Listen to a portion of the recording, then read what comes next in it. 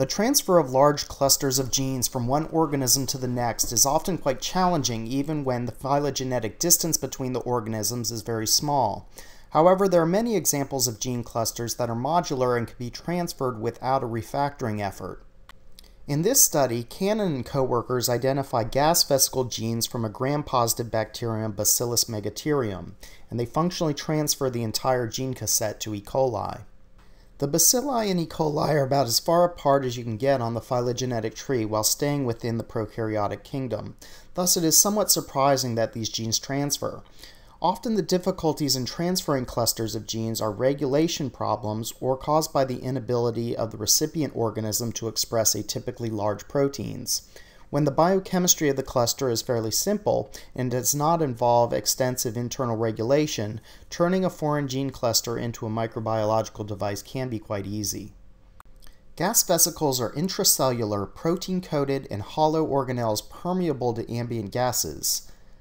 B. megaterium has a gene cluster encoding an 8000 base pair cluster encoding 15 putative gas vesicle genes. The authors identified this gene cluster while doing transposon mutagenesis on Megaterium. Megaterium is a polyhydroxyalkanoic acid overproducing strain, and extensive biotechnology work has been done since the 1980s to produce PHAs at a sustainable plastic material. And indeed, there are companies that produce the product. In one of their hits, the transposon had inserted at a site next to these gas vesicle genes, so they decided to clone out the genes and examine what they did.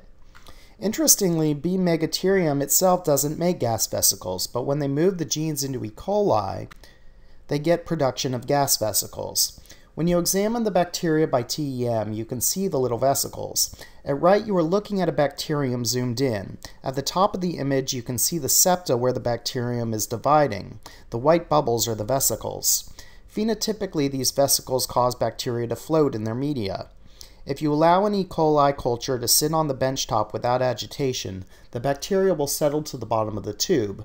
However, in the strains that contain gas vesicle genes, the bacteria stay afloat. They go on to dissect the gene cluster by examining truncations from the 5' and 3' ends. From this, they can trim the device down to only 11 genes. Further studies have done more extensive analysis of this gene cluster, systematically removing genes, and it turns out that only 8 of them are needed to produce vesicles in E. coli.